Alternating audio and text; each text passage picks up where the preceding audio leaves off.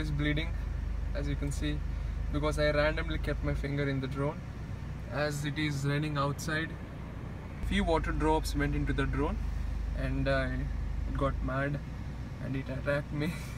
It's not that bad it happens. It's a small one. As you can see it's raining now uh, very heavily. Thank god everything is fine the drone is safe.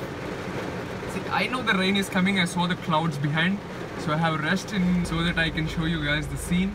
Because the landscape was, was very beautiful guys. I thought i will not miss you. But no problem. The shot is very worth it. You will see it now. I'm saying you it's all fine.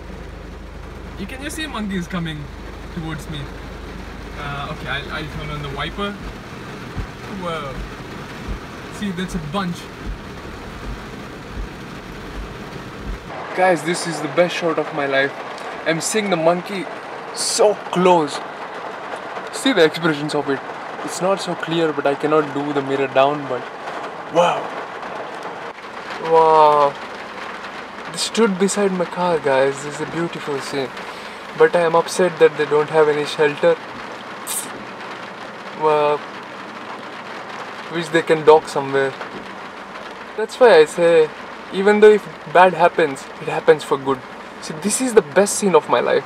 I never saw something like this very close. They're standing in front of my car guys. I'm very excited. They're not even going anywhere. Whoa.